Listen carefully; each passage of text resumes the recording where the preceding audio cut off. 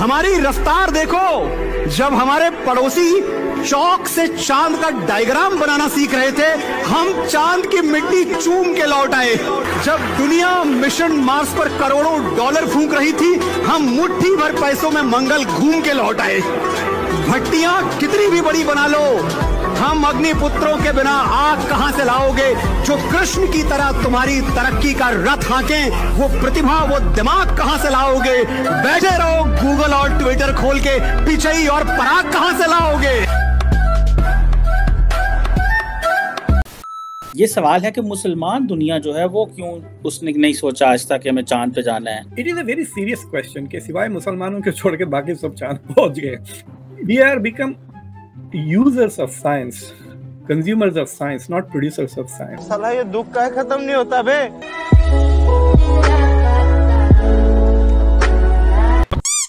आ, एक तरह से देखा जाए कि उनको कॉन्ग्रेचुलेशन के वो चाँद पर गए हैं। ठीक है। लेकिन ब- बहैसियत है पाकिस्तान। ठीक है। पाकिस्तानी हाँ। मुझे बहुत दुख है।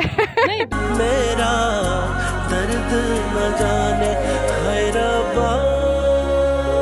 दुख इस बात का कि वो चले गए या हम नहीं जा मुझे दुख है कि हम नहीं जा सके। चीज़। साला ये दुख का खत्म नहीं होता बे।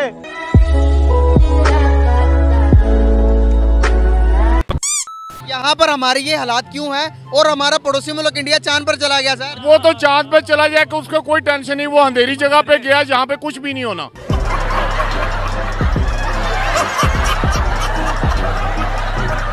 पानी भी ढूंढ लिया उन्होंने। कुछ भी नहीं ढूंढा उन्होंने। क्या चुतिया बनती है? पहले पानी भी ढूँढने वाला तीसरा ये तीसरा अटेम्प्ट है उनका। नहीं, कोई नहीं ये हमें अफवाह है कि पानी ढूंढ लिया फलां ढूंढ लिया।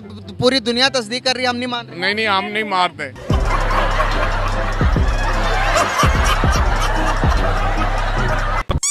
पिछले दो दिन में दो रिकॉर्ड बने तगड़े वाले। एक बनाया पाकिस्तान में और एक बनाया हमारे हिंदुस्तान में। हिंदुस्तान का रिकॉर्ड तो आपको पता ही है कि भारत चाँद पे पहुँच गया। लेकिन आपको ये जानकर बहुत ताजुब होगा कि पाकिस्तान का डॉलर भी चाँद पे पहुँच गया है। हमें फख्र है इस पर। एक तरफ़ भारत ने चाँद पे कदम रख के एक इतिहास बनाया वहीं पाकिस्तान ने अपने डॉलर को तीन सौ रुपये तक पहुंचाकर नया इतिहास बनाया। ये हमारी बहुत बड़ी अचीवमेंट अब एक डॉलर तीन सौ रुपये तक चले जाए तो आपको पता है कि फिर आहाकार ही मचता है। यकीन कीजिए पाकिस्तान इस वक्त उस दौर से गुजर रहा है कि आम आदमी ने हाथ खड़े कर दिए उसने कहा बस। पाकिस्तान दिन ब दिन कंगाली के दलदल में धंसता चला जा रहा है। पाकिस्तान की तारीख में डॉलर कभी भी इस रेट को तजावुज नहीं किया।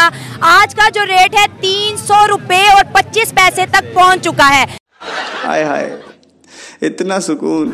ये पाकिस्तान की तारीख में पहली दफ़ा हुआ है। इसके साथ अगर हम बात करें महँगाई की इन्फ्लेशन की बेरोजगारी की मुल्क में बढ़ते हुए बहरान की तो ये जो है पाकिस्तान अपने वर्स्ट तरीन दौर से गुजर रहा है। क्योंकि ये इस्लामी जमहूरिया पाकिस्तान है। अगर हम बात करें बिजली की, बिलों की इलेक्ट्रिसिटी के बिल ने इस दफ़ा तो रिकॉर्ड तोड़ दिया है। पंद्रह हज़ार कमाने वाले बंदे को चालीस से पैंतालीस हज़ार रूपए जो है बिजली का बिल दिया जा रहा है। तोबा तोबा तोबा।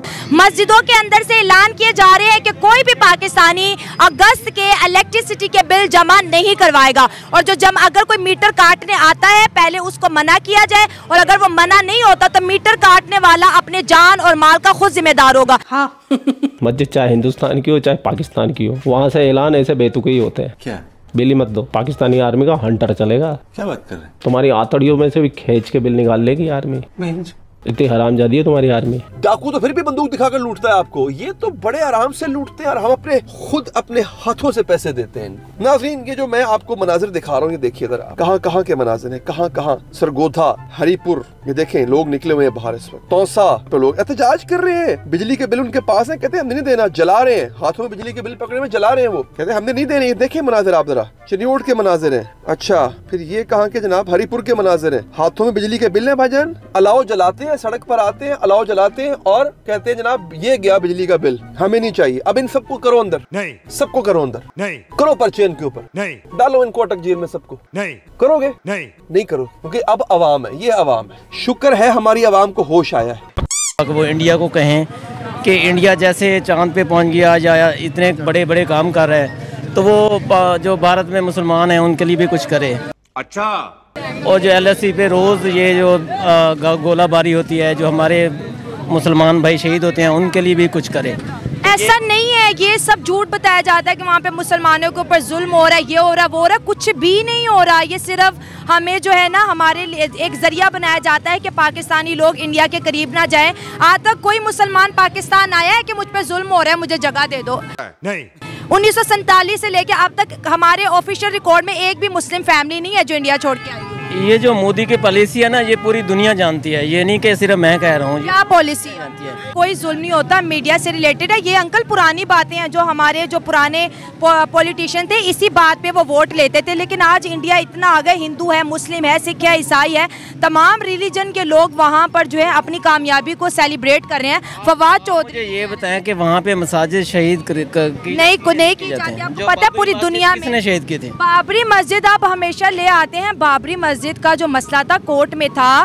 कोर्ट ने हिंदुओं को भी बुलाया मुसलमानों आप वो देखें आज भी यूट्यूब पे मौजूद है। उन्होंने कहा सबूत पेश करो। मुसलमान सबूत पेश ना कर सके हिंदू ने अपना जो है सबूत पेश किया कोर्ट ने किया। मोदी सरकार ने वो मस्जिद नहीं गिराई। कोर्ट के ऑर्डर से और उसके बदले में उन्होंने पाँच एकड़ की मस्जिद बनवा मेरे। पाकिस्तान में ये जो कुछ हो रहा है ये जो अदालतें कर रही हैं ये जो भी जो हो रहा है तो ऐसे इंडिया की अदालतें भी ऐसी हैं। अपने साथ मत जोड़िए हमको। अलग है। वो भी उन हिंदुओं की और जो मोदी की जो सरकार है ना, उसकी बात ही ज़्यादा मानी जाती है। तो आवाम वहाँ की या यहाँ की अवाम कुछ नहीं कर सकती। वो जो हुक्मरान बैठे हैं या स्टैब्लिशमेंट उधर की है अच्छा, या जो देखिए आज हमारा टॉपिक जो है ना तरक्की का था आप इंडिया के मुसलमानों पे ले गए। आपने चाइना के मुसलमानों की कभी बात की है जिनको रोज़े रखने नहीं दिया जाता? चाइना मस्जिदें शहीद कर रहा है दाढ़ियाँ वहाँ पर काट रहे है कुरान पाक पढ़ने पे बैन है रोजा पढ़ने पे बैन है। डेढ़ करोड़ मुसलमानों के लिए उन्होंने जेलें बनाई हैं सारा दिन मुसलमानों को मारते हैं। चाइना की आप बात नहीं करते मुसलमान कंट्री अगर हम अगर हम देखें हिंदुस्तान की बात करें साढ़े चार लाख मस्जिदें हैं वहाँ पर साढ़े चार लाख। और साथ साथ वहाँ की जो सरकार है हज पे जब जाते अगर आठ लाख का हज है चार लाख सरकार भरती है चार लाख अवाम भरती है। इतना कुछ तो दे रहे हैं। चाइना की हम क्यों बात नहीं करते फिर? ये जो चाइना है हम चाइना की भी बात करते हैं। वहाँ पे भी अगर मुसलमान पे जुल्म हो रहा है तो वो अगर नहीं डेफिनेटली हो हाँ। इंडिया का तो हमें पता है कि वहाँ पे हो रहा है। ये अरे तुम्हारी खोपड़ी में भेजा है कि भजिया है? जब हम इस पे सोचेंगे हमारी सरकार सोचेगी या जो बड़े लोग जो हुक्मरान बैठे हैं जो ताकतवर लोग हैं वो सोचेंगे तो इंशाल्लाह हम भी उन, उनसे कम नहीं है। I am not agree with your analysis. अच्छा। हम हम में भी टैलेंट है हमारे लोगों में भी टैलेंट इतना है कि हम चाँद पे जा सकते हैं। उफ उफ उफ क्या जुल्म ढा दिया। चाँद से ऊपर मरीख पे भी जा सकते हैं। सत्तर सालों में कोशिश क्यों नहीं की अगर हम जा सकते हैं तो? इंडिया ने दो कोशिशें की तीसरी में वो बिल्कुल कामयाब हो गया। सुने जब इंडिया ने एटम बम बनाया था तो फिर हमने भी बना दिया था। अच्छा ठीक है। अब उनने कुछ बनाया तो इनशाला ज़रूर हम भी कुछ करेंगे और मुझे उम्मीद है की इसके बारे में सोचा जा रहा होगा।